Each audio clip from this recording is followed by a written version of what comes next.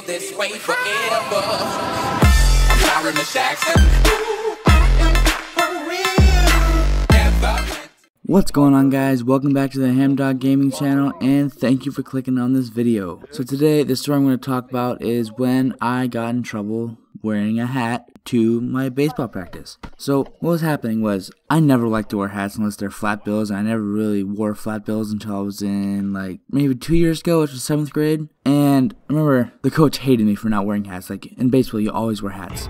So I was coming home or I was yeah, I was going to my home I was going home to my friend's house and he was like, dude, I have this plastic fire truck hat. You need to wear it to practice. And I was like, okay, I'll do it. And so the funny thing was, one of the coaches was just a complete dick. The other one was uh, my neighbor's, my friend's uh, family friend. Like, he likes me a little bit. But he, he's said, yeah, dude, do it. Dude, do it. Do it, dude, do it. I go, okay, I'll do it. And so I go, we're getting into the car. I'm like, ah, I'm getting kind of nervous, dude. I don't want to get yelled at. I don't have to run so much. And think about this, I'm like eight or nine years old at this time, at this point in time. So I'm fairly young, and I was really emotional for some reason. But I get there, and the coach sees what I'm doing, and the family friend that was also a coach is crying, laughing, and the coach's like, Jane, get over here. I'm like, uh, okay. He's like, ah, everyone's everyone's laughing, having a good time. I'm just screaming around I knew the family friend told me we were getting hats that day, and he had them in his car. He said, wear this, we're getting hats today. I'm like, okay, I'll wear it. And we get there, the coach's like, I said, Jane, get over here. I'm like,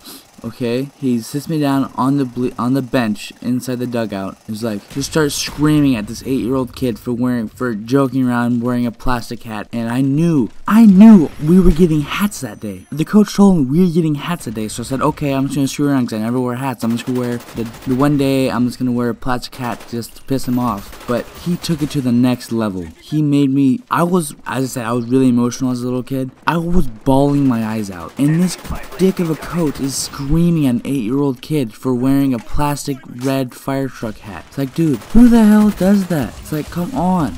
I was just joking around, and he, I, I think he knew too that we were getting hats that day. And I swear he told me the day before we're getting hats tomorrow, so still bring a hat. So I'm like, okay, I brought a hat. I brought a plastic fire truck hat, but no.